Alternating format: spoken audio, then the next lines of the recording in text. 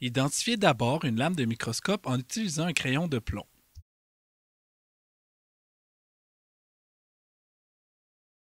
Stérilisez ensuite le fil à boucle dans la flamme. Lorsqu'il devient rouge, patientez 5 secondes et retirez-le de la flamme en demeurant dans le champ stérile.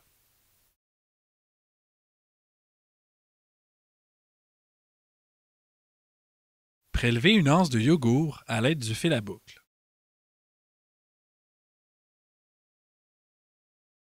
Étalez ensuite le prélèvement sur toute la surface de la lame.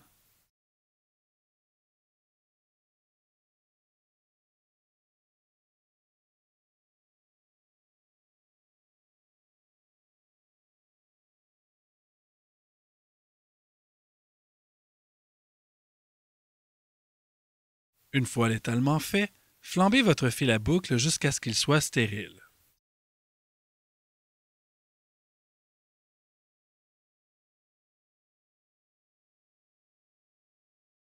Laissez la lame sécher quelques minutes à l'air libre. Lorsque vous êtes prêt à faire la coloration, rendez-vous au lavabo. Enfilez un gant et fixez la lame à l'aide de la pince à linge. Déposez le tout sur le support de verre au-dessus du lavabo. Prenez l'isopropanol et inondez complètement la lame.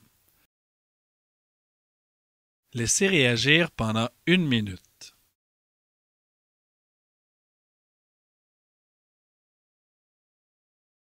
Après une minute, rincez la lame à l'eau du robinet en évitant de diriger le jet directement sur le centre de la lame.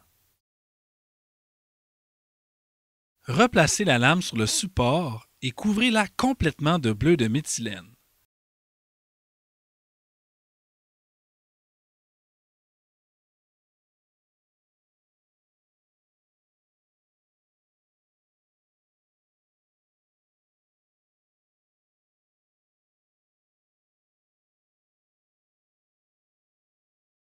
Laissez réagir pendant deux minutes.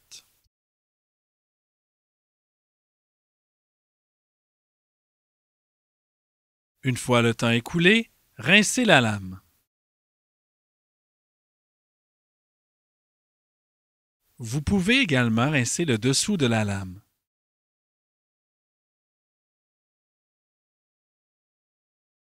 Une fois la lame rincée, prenez le calepin de papier buvard et détachez-en une page.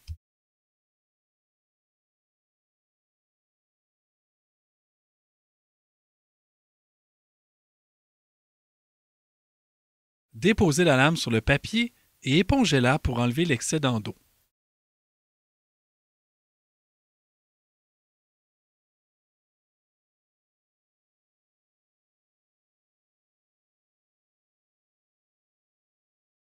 Lorsque la lame sera sèche, observez-la au microscope à un grossissement de 1000x.